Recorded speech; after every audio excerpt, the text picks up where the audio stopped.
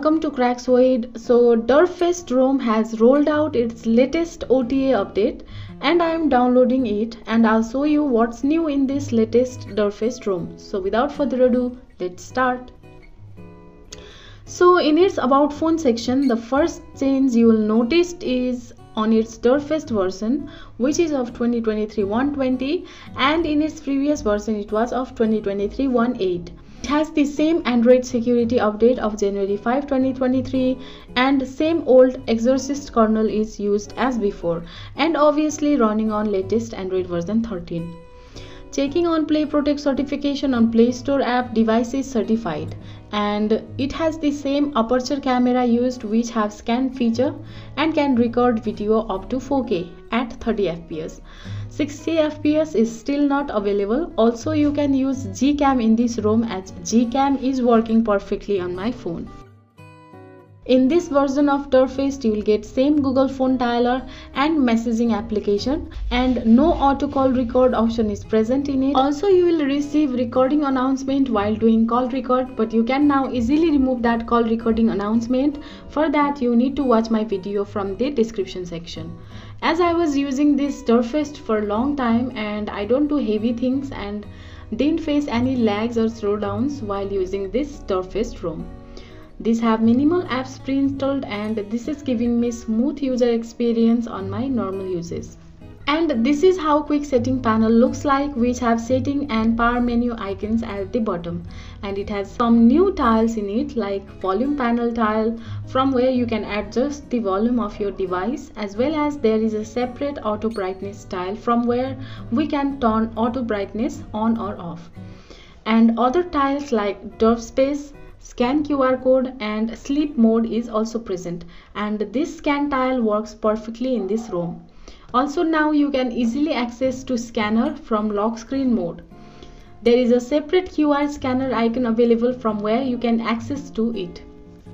Also on lock screen, torch icon is present which was not available in its previous version from where you can turn torch on and off very easily by tapping it.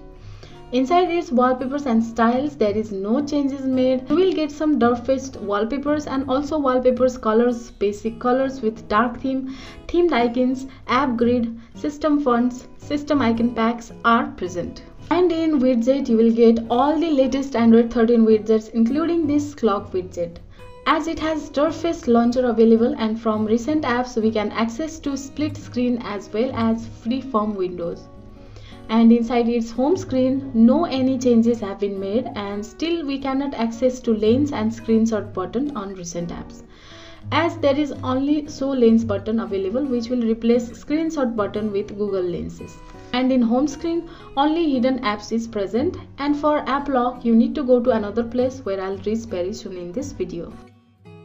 Inside its network and internet, there is private DNS without custom DNS which is similar as its previous version. And from apps, you can access to game space feature which looks something like this. And from notification, you can enable blink flashlight for incoming calls.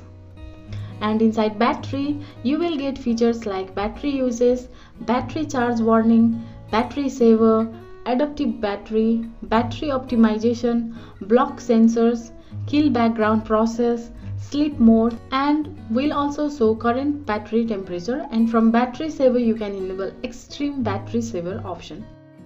Inside its display there is adaptive brightness with screen timeout and the maximum limit for screen timeout is 30 minutes.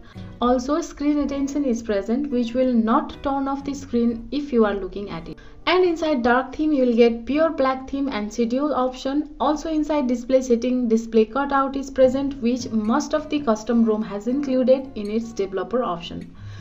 And from your security setting you can use this app lock feature. Also face and fingerprint unlock is available in this ROM and in app language only YouTube is supported other apps are still not supported in app language setting we can directly access to USB configuration from here which was also present in its previous build. And from buttons you can enable taskbar feature and disable power menu on lock screen. You will also get Derpfest Updater from where you can update to latest version of Derpfest through OTA updates. Also some other gesture settings like swipe to take screenshot, press and hold power button for power menu or digital assistant with quickly open camera is present. In this Derpfest, you will get Derp Space setting from where you can do lots of customizations on your phone. You can enable traffic indicators from here and from miscellaneous you can use this status bar lyric and logo feature which will be seen on status bar section. Also, this separate signal icons is present which will show signal and Wi-Fi icons separately. Also, Wi-Fi type icon is present which will show Wi-Fi type number in Wi-Fi signal indicator. From notification you will get this reticker option and from lock screen you can disable ripple effect and hide status bar on lock screen which looks something like this on lock screen mode. Also you can change lock screen clock font and here these clock fonts are available which is really good but no any new fonts are added. So in this Derpfest you will get parallel space which now many ROMs are providing and this works properly in its system setting, you will get pulse setting and these have navbar pulse, lock screen pulse, ambient pulse and many more features related to pulse. And in customizations, you will get advanced monet setting from where you can do lots of changes in colors and themes. Also in this Derpfest, unlimited photos and videos uploading feature is available. So this is all about this latest build of Derpfest ROM which is running on Android 13.